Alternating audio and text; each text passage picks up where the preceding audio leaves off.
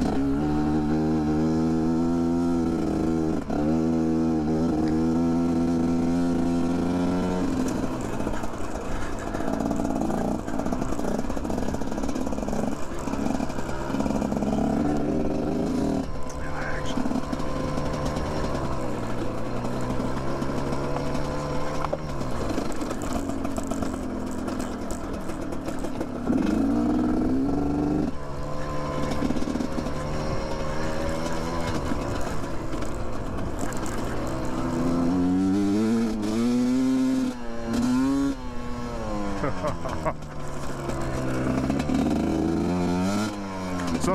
I do think that tip, that spark arrestor has changed it some. So what I'm gonna try to do, because the next size up was so close, I wanna see if I can get that one to uh, work. That would be a bigger opening. And because they sent me actually three, two, two bigger ones. I don't know why, but I, I will see if I can modify that slightly because it's a close fit to uh, put in the end of the pipe. I think they also, you know, there is a tool to expand pipes, you know, like exhaust and stuff. So I wonder if if I took the muffler off, took it to exhaust shop and just had just a hair.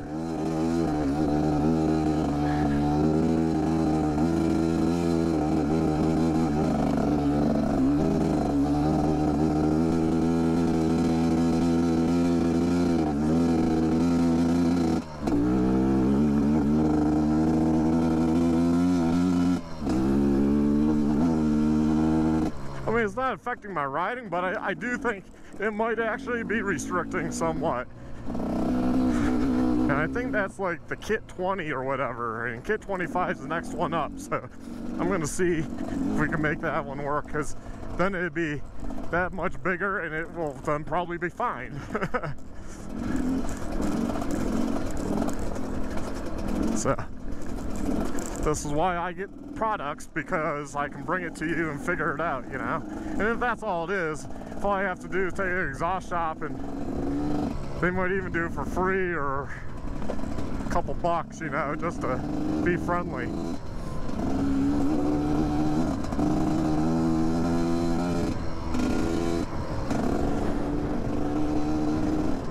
Or I wonder if uh, AutoZone you can borrow exhaust stuff if they have anything which I could just like, yeah, you know, they loan tools out, so maybe just borrow something so I could just expand a little bit. All I have to do is expand the pipe just a tad.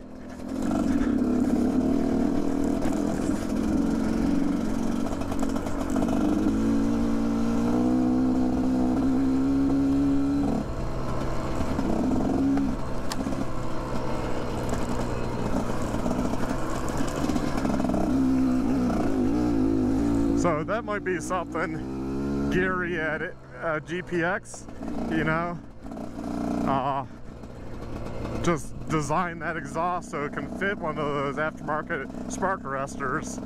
And uh, I, I mean, it's so close for the next size up. And then that way, they don't have to go through the approval, but they could just point you, work with one of these companies and point you to it and be like, hey, and, and another product they could actually carry on the shelves themselves, you know? So during checkout, they can be like, hey, by the way, are you riding in an area that you might need a spark arrestor? Yeah, we got one from this company. You know? Uh, this is what you will need. Because a lot of us out west here, probably any public lands really, you're going to need that.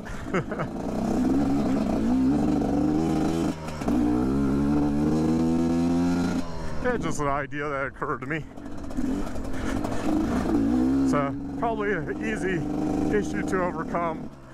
In fact, I, I mean, I do know a fabricator guy too, but he, I mean, I'm sure he can expand pipes.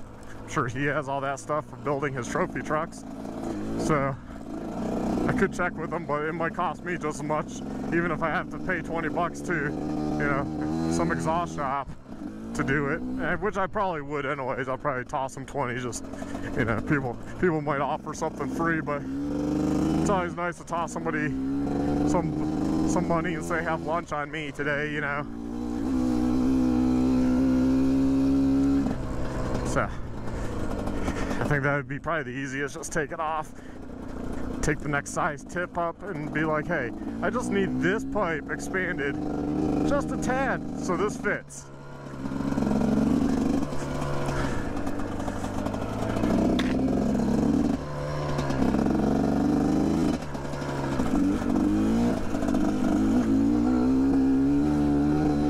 Some people are just like, well, why not just spend the 170 and get a the aftermarket pipe? Because 80 bucks, and even if you toss the 20 to tip somebody at an exhaust shop, some money, you know, 100 bucks is still cheaper than 170. And people that are buying these bikes, I mean, you're, you're gonna drop the bikes. Eventually, I probably will need a, an exhaust. I just don't want to. That's something I just don't want to buy right away because I've never been a big person in sound of a motorcycle. I don't care about the sound. I'm about the riding, the riding experience. So.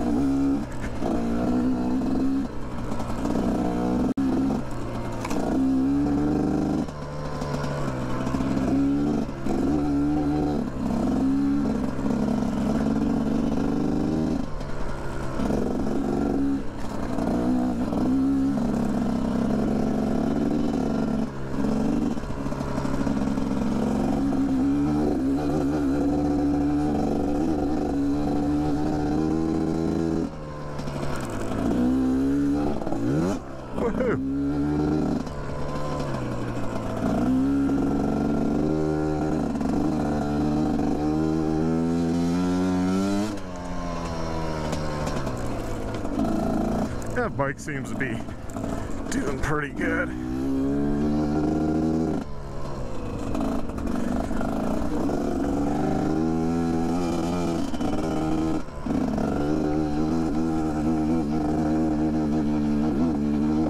In the wrong gear, I'm logging, lugging. Yep, think I'm in second.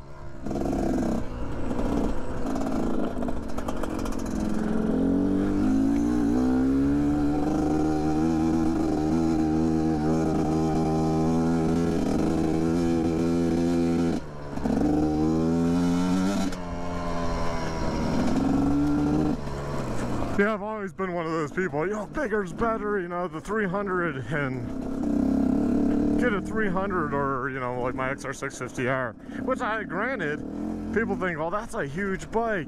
But the thing is, there's so much torque. There's more torque on with a 650 than there is with a 300 two-stroke down low. It's like a freaking tractor.